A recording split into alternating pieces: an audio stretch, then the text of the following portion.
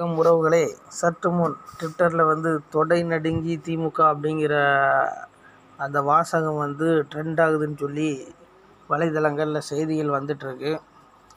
அது மட்டும் இல்லாமல் வானதி சீனிவாசன் அவர்களுடைய தொடர்பில் வந்து இவர் பிடிஆர் பழனிவேல் அவர் வந்து ப- ப- நிதியமைச்சர் அவர் பிளாக் பண்ணிட்டு போயிட்டாரு அப்படின்னு சொல்கிறாங்க நமக்கு அந்த விவரம்லாம் தெரியாது. இருந்தாலும் உறவுகளே ஆணவம் வந்து மனுஷனுக்கு வரக்கூடாது. மனுஷனுக்கு வரக்கூடிய இருக்கக்கூடாது. ஒன்று ஆணவம். ஆனால் வந்து சில ஒரு சிலர் வந்து தங்களுடைய பதவி இதுலேயோ நம்மளுடைய எப்படி சொல்கிறது சிலருக்கு வந்து இயற்கையாகவே ஒரு மமதை இருக்கும். நம்ம தான் அப்படின்னு. அப்படி இருக்கிறவங்கலாம் பார்த்திங்கன்னா ரொம்ப நாளைக்கு வந்து ஓடாது. அது வந்து யாராக இருந்தாலும் சரி அது பாஜகவை சேர்ந்தவங்களாக இருந்தாலும் சரி திமுக காரங்களாக இருந்தாலும் சரி அதிமுக காரங்களாக இருந்தாலும் சரி உறவுகளே அவங்களுக்கு வந்து பார்த்திங்கன்னா ரொம்ப நாளைக்கு அவங்க எந்த பதவியில் இருந்தாலும் அது ரொம்ப நாளைக்கு நிலைக்காது. ஆனால் நீ பிடிஆர் அவர்கள் வந்து நிறைய தொடர்ந்து நிறைய சர்ச்சையில் வந்து அவர் சிக்கிறார். அடிக்கடி நான் தான் அமைச்சர் அப்படின்னு ஒரு சில வாசங்கள் அமைச்சர் எனக்கு தெரியாது? அப்படிங்கிற ஒரு அமைச்சர். அந்த வார்த்தை வந்து இது வரைக்கும் எந்த அமைச்சரும் சொல்லி பார்த்ததில்ல திமுகவில்.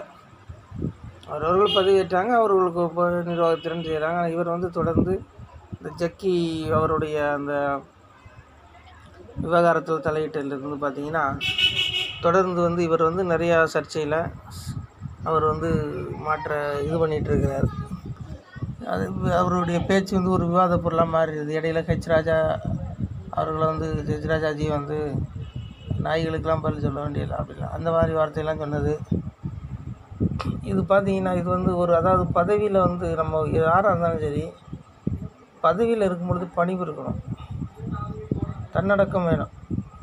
அது வந்து நம்முடைய ஸ்டாலின் அவர்களுக்கு இருக்குது ஆனால் இவங்களுக்கு இருக்குதாங்கிறது தான் கேள்விக்குறி தான் இல்லைன்னா இது போன்ற அவமானங்களை அவர்கள் அவங்க சந்திக்கணுங்கிற அவசியமே இல்லை. இதை தான் சாமி வைகுண்டர் வதாரத்தில் சொன்னார்.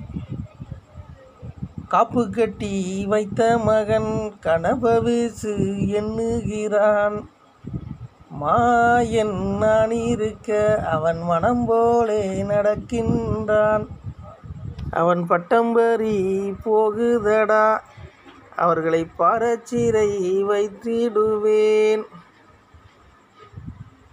ஆயிரத்தெட்டு மாசியிலே ஆண்டி புத்தி சொல்லி வந்தேன். ஆண்டி யாரு?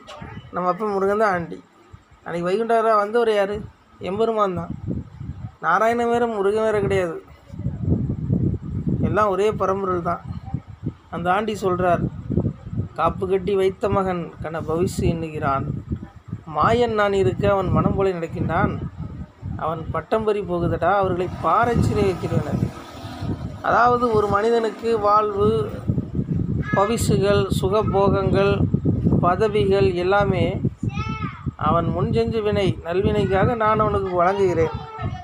ஆனால் அவன் அதே பதவியில் அவன் ஆணவத்தில் ஆடும் பொழுது அந்த பதவி கொடுத்த மாயனாகி நான் அவர்களை தட்டி அடக்கி ஒடுக்கி எங்கே கொண்டு உட்கார வைக்கணும் உட்கார வைப்பேன் சாமி சொல்கிறார் இது என்னுடைய வார்த்தை கிடையாது.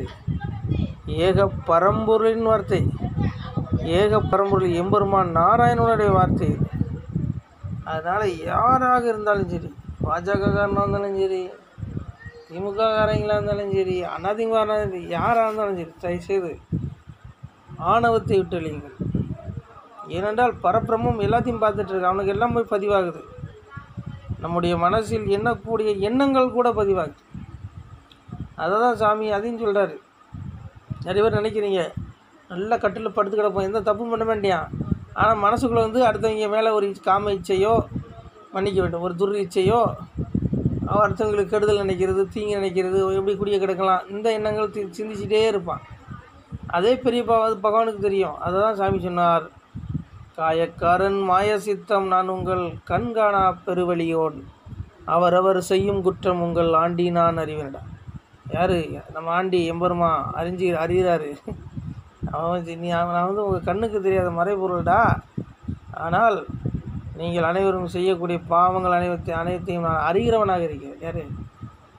சாமி எம்பெருமான் சொல்கிறாரு தெளிவா நான் நீ செய்கிற பாவம் அத்தனை எனக்கு தெரியும். ஏன்னா கீதையில் பகவான் சொல்கிறார் ஈஸ்வர சர்வ பூதானாம்ங்கிறதே சோர்ஜினா திஷ்டி பிரமான் சர்வ பூதானி யந்திரருடானி மாயையாங்கர். அதாவது என்ன சொல்கிறாரு ஒவ்வொருடைய இதயத்திலும் நான் இருக்கிறேன். என்னிடம் இருந்தே அறிவும் ஞாபக சக்தியும் வருகின்றன. சாமி எங்கே இருக்காரா? ஈஸ்வர சர்வபூதானாம் ஹிருதை சர்வபூதம் அனைத்து உயிர் பிராணிகளுடைய இதயத்திலும் நான் இருக்கேன். ஈயாக இருந்தாலும் சரி கொசுவாக இருந்தாலும் சரி புழுவாக இருந்தாலும் சரி கண்ணுக்கு தெரியாத நுண்ணுயிரிகளாக இருந்தாலும் சரி அத்தனை உயிர்களிலும் ஹிருதயத்தில் யார் இருக்கா? எம்மரமாக தான் இருக்கான். யானையாக இருந்தாலும் சரி பூனையாக இருந்தாலும் சரி மனிதனாக இருந்தாலும் சரி. அதான் சாமி சொல்கிறார் ஈஸ்வர சர்வபூதானாம் ஹிருதே அப்போ என்ன சொல்கிறார் சாமி? உடல் என்கிற இயந்திரத்தில் ஏற்றி வைக்கப்பட்ட அனைத்து பிராணிகளையும் பகவானாகிய நான் என்னுடைய மாயையினால் நல்லா கேட்கணும். முடிஞ்சால் பத்து பேருக்கு ஷேர் பண்ணுங்க உறவுகளை. அப்படியே இப்போ கேட்குறத விட்டுறாதீங்க. தயவுசெய்து கொஞ்சம் பகவானுடைய கருத்துக்கள் நாலு பேர் அறியட்டும் உறவுகளை. பகிருங்கள். அப்போ சாமி சொல்கிறாரு உடல் என்கிற இயந்திரத்தில் ஏற்றி வைக்கப்பட்ட அனைத்து பிராணிகளையும் பகவானாகிய நான் அவரவர்களுடைய கர்ம வினைக்கேற்றவாறு சுழலச் செய்து கொண்டு எல்லா உயிரினங்களுடைய இதயத்திலும் விட்டிருக்கேன் சாமி என்ன சொல்கிறாரு எல்லா உயிரினங்களுடைய இதயத்திலும் விட்டிருக்கேனுங்கிற மனுஷன்னு கிடையாது. மாடு ஆகட்டும் விலங்குகளாகட்டும் பறவைகளாகட்டும் பூச்சிகளாகட்டும் கண்ணுக்கு தெரியாத உயிரினங்கள் அனைத்திலும் எம்பெருமா இருக்கார். அவர் இல்லாத இடம் கிடையாது. அப்போது நாம் எண்ணக்கூடிய எண்ணங்கள் எம்பெருமானுக்கு மறைவாக இல்லை. இதை முதல்ல மனிதர்கள் உணர வேண்டும். முக்திக்கு வழியை தேடணும். களி முத்தின காலம் கடைசி காலத்தில் வந்து கிடக்கும். இன்றைக்கி பதவி இருக்குது பவுசு இருக்குன்னு ஆடுறோம். அத்தனையும் அடக்கி ஒடுக்கி விடுவார். உதாரணத்துக்கு எத்தனையோ நீங்கள் பார்த்துருப்பீங்க. கடந்த காலங்களில் என்னென்ன சம்பவங்கள் நடந்துச்சு. அதனால் சாமி தெளிவாக சொல்லியிருக்கிறார். அன்பாகி வந்தவரை நான் அலைச்சல் செய்து இருப்பது பகவான் என்ன சொல்கிறார் ஒருத்தன் அன்போடு என்னை வந்து வணங்குறானா நான் அவனை அலைச்சல் செய்து ஏற்பேன். அலைச்சல்னா என்ன? அவனுக்கு பல சோதனைகளை கொடுப்பார். கொடுத்து தான் அவனை வந்து என்ன பண்ணுவார்? கரையேற்றுவாரான் ஆனால் அநியாயம் செய்யக்கூடியவர்கள் என்ன பண்ணுவார் ஆகாய அளவுக்கு வளர விடுவார். அது சொல்கிறாரு அன்பாகி வந்தவரை நான் அலைச்சல் செய்து ஏற்பதுண்டு. வம்பான மாற்றானை நான் வளர்த்து ஏற்பதுண்டு அநியாய வம்பான மாற்றான் யார்? ஆணவம் பிடிச்சவன் கருவம் பிடிச்சவன் திமிரு பிடிச்சவன் அகங்காரம் பிடிச்சவன் கோவக்காரன் சூதுக்காரன் நயவஞ்சகக்காரன். இவர்கள் அத்தனை பேர் என்ன பண்ணுவாராம் முதல்ல சோதனை கொடுக்க மாட்டாராம் நல்லா வளர விடுவாராம் ஆகாயம் அளவுக்கு இன்னும் பண்ணுடா. இன்னும் பண்ணுடா. அப்படின்னு. கடைசியில் என்ன பண்ணுவாராம் தட்டி துவைச்சி காய போட்டு வரான் அதுபோல் தான் பார்த்தீங்கன்னா ஆணவப்படுகிற கூட்டி படுகிற படுறவங்க நிலைமை இறுதியில் இது போல தான் வந்து முடியும். இவர்கள் வாய் அடைக்கியிருந்தால் இது போன்ற சம்பவங்கள் நடக்காது. அவர்களுக்கு உண்டான பணிகள் எனக்கு கொடுத்த பணிகள் திறம்பட செஞ்சாலே போதும். இந்த ஆணவங்க தான் இதுக்கெல்லாம் காரணம்.